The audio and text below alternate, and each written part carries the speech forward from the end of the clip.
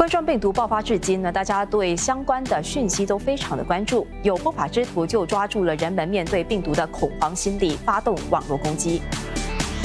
网络保安公司 Trend Micro 在今年头六个月共拦截了八百八十万个与官病相关的电脑病毒威胁，当中百分之九十二是经由电邮传送。在新加坡，公司探测到一亿七千两百多万封的电邮攻击，诱骗用户下载恶意软件，则比去年同期多了七成。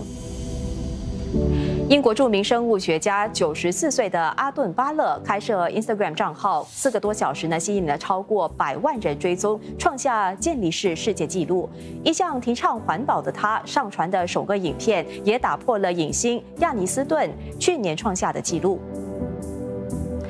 天研究所推出了几款的居家机器人，帮忙打理家务、照顾家中的年长者。悬在天花板上的机器人能节省空间，也能打扫房子。研究人员通过虚拟实境装备记录人类做各种家务的动作，来训练机器人，但技术仍未成熟。